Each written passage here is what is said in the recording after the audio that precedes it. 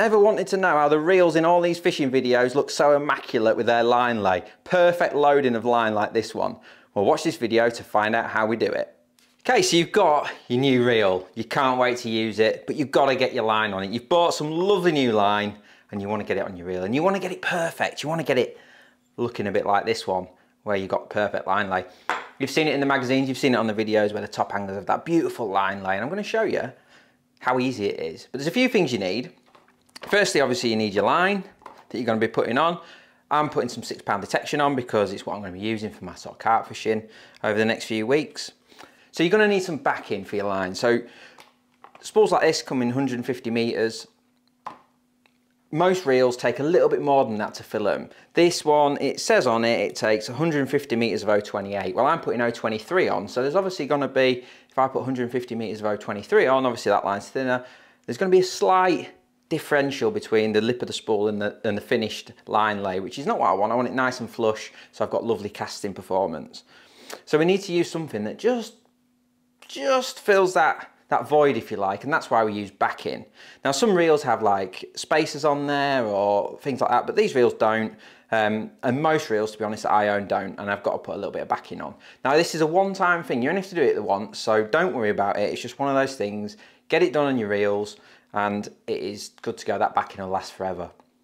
Now you can use whatever you want. You can buy a cheap spool of line, something like a bulk spool or whatever.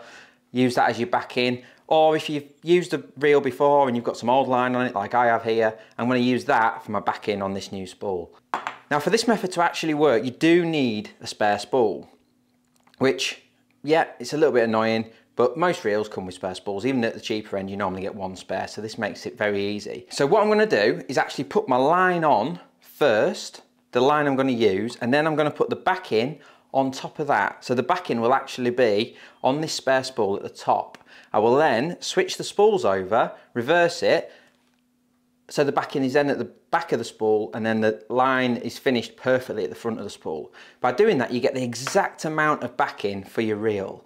Now what we're gonna do, we're gonna, you, I can hear you thinking, but you've got two spools, how can I then do it on my second spool? Well, what we're gonna do, we're gonna count the number of um, reel turns of backing that I'm gonna put on to get that perfect line lay. So it'll become self-explanatory once we start doing it. And it's a brilliant way of doing it. Now there's another way that you can do it without backing and that's with electrical tape. I've done that quite a lot actually recently. If you can't be bothered with um, like putting line backing on, you can put some, as you can see, for this spool, that, that width for that um, electrical tape is perfect. That can be a really nice way of doing it. If you just take your spool off, wrap a few wraps of electrical tape around it, you don't need backing. It can be a really nice way of doing it. It's just a little bit harder to get your um, levels right without having to take your line on and off. But if you don't need all of your 150 meters, just whack plenty of that on, wind some uh, tape around it, and you can be really, really good. You can get a really nice finish. But for the purpose of this, I'm going to show you how to do it. Imagine that's a spool of backing that I've just got from the shop. In this case, it's some old line. And I urge you, if you have got some old line on your reels, don't throw it in the bin. Use it as backing. Just put it on your, your new spool and use it as backing. So let's get on with it. So what we need to do, we need to get the detection onto the reel first and then we'll attach the backing and put that on. So let's get that on there. Nice new. If you haven't seen this detection already, it's beautiful line. And you may notice that we've got a pan of water in front of me and that is for a reason. There's all sorts of ways to get line from there onto your reel. Some people put a pen through it. Some people just lay it down. I know Mick does, he just lays it down and gets it come off. You can put it in a bucket full of water. But I, I'm quite obsessed with getting, I like my line to be coming off this spool straight because I think that that just minimises, modern reels are great, you don't get a lot of line twist anymore, but you might get some. So rather than running the risk of actually having any line twist, I just like this to come off flat and you'll see why in a minute. And it just makes sure that the actual line goes onto the reel as nicely as possible. Granted, modern reels like this magnitude that I'm using, They've got all the correct rollers and stuff that sorts the twist out anyway, so you don't really get it anymore, but it's a good place to start. If you do everything properly in the first place, then line twist, if you do own a cheaper reel, should become a thing of the past, because it can be a problem with uh, cheaper reels. And that's where this little beauty comes in. So in front of me, I've got a pan with some water in it, and I'm just gonna plop that in there, and this is where the little clever hack comes in. So this pan has a little hole, like a steam hole, I'm just going to pass my line through that and then pop the lid on. And what I found is that that keeps it lovely and straight. So when you're actually reeling in, it just keeps that spool the right way up. And I just found that a, lovely little tip. I think I saw it on like YouTube Shorts or something like that from an American guy. Like I say, we're not going to need too much backing for this because the reels, the spool's not that deep. Now, one thing I will say is do it on a rod and always pass the line for your first ring. It makes it much easier. I almost forgot to do it. Helps keep that line straight in the pan, if that makes sense. So let's just lasso that on there.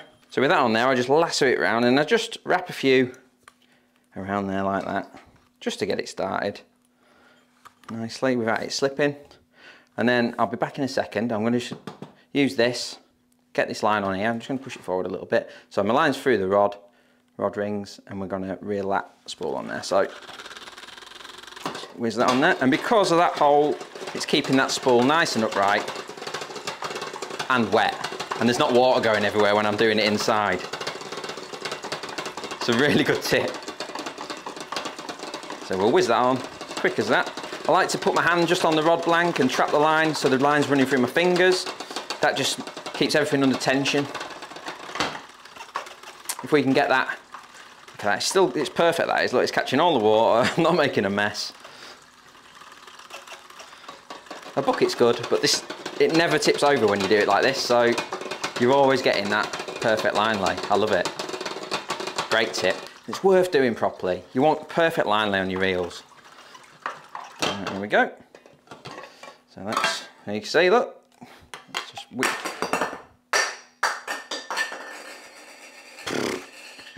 So we've got a bit of a void there where we're going to have to top that up now with the, with the back in, which is great. That's exactly what we were looking for. So now it's just a case of attaching this line to our backing. Now I'm not too bothered about the backing going in the pan because I'm just going to reel it off and, and do it that way. So, uh, but one thing I do want is a nice knot. So I, I like an Albright knot, which is a loop in the imagine that's a shock leader, but a loop in that, and pass the main line through. It's a lovely streamlined knot, and then pass that around. It's a bit fiddly, but once you get the hang of it, it's good. So we're just going to go around there 10 times or so, not counting, but roughly 10 times. And it, it produces a lovely streamli streamlined um, knot. So pass that back through the, the loop, and then we're going to pull it all down nice and tight and it produces this beautiful little slim knot, which I think is, look, beautiful little knot. It's a lovely knot for shock leaders because it passes through your rod rings without catching. I'm going to trim that nice and tight. I don't if you if you've ever like done a bit of a dodgy knot attaching your main line to your backing. Just every now and again the, the, the tag end will poke through, particularly if you use backing that's thick, it'll poke through. With that little beautiful little Albright knot, that never happens. So let's quickly whiz the backing on. So we're, now we're gonna keep a close eye on this, but remember what we're gonna do, we're gonna count the number of turns of backing we're putting on. That's so important, that is, because then, from memory, this is a 520 magnitude, I've got 150 meters of line, I know exactly how much backing to put on in future for, for reference. So let's get that on there, and I'll count, I'll come back in a minute and let you know how many counts it is. So, are we on yet? Right, so Right, so that's right at the tip there of probably about where I want it. So let's trim that off. And that was exactly 100 turns of the reel to fill that up with the backing.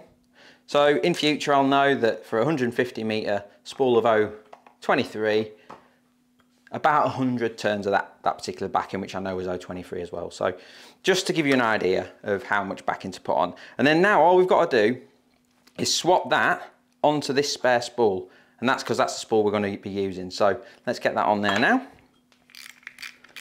It's a bit fiddly, but like I say, you want to get this done, you want to do it right. So we'll get that off there. And one, like I say, once your backing's on, you never have to change it.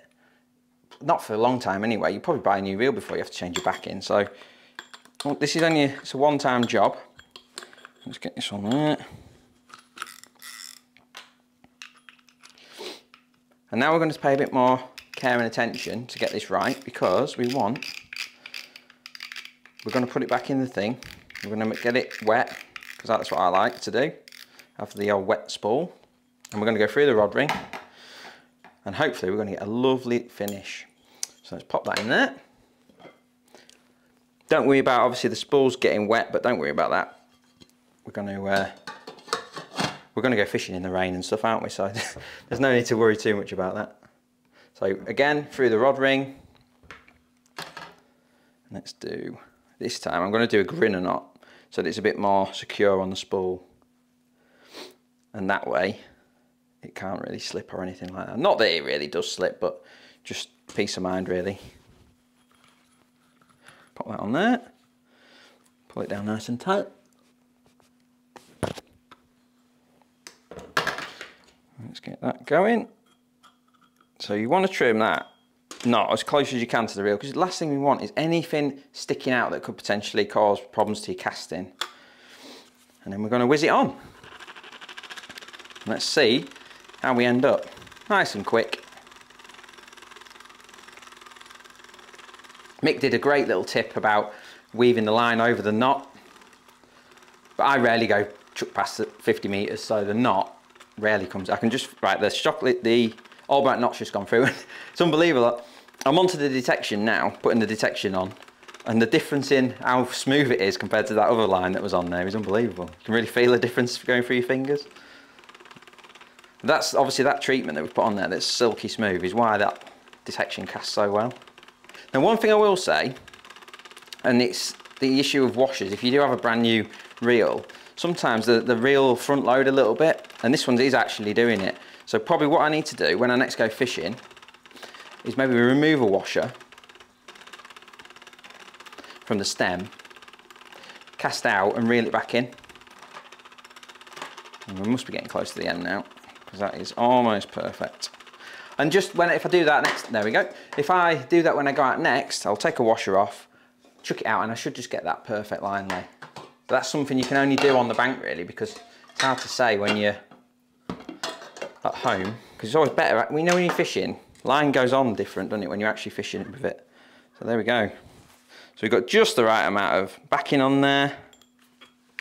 We've got the perfect line lay. Look, it's loaded right to the lip. You see that? It's loaded right to the lip so we're not getting any infringement. Just going to be absolutely lovely that is. So that's how I do it.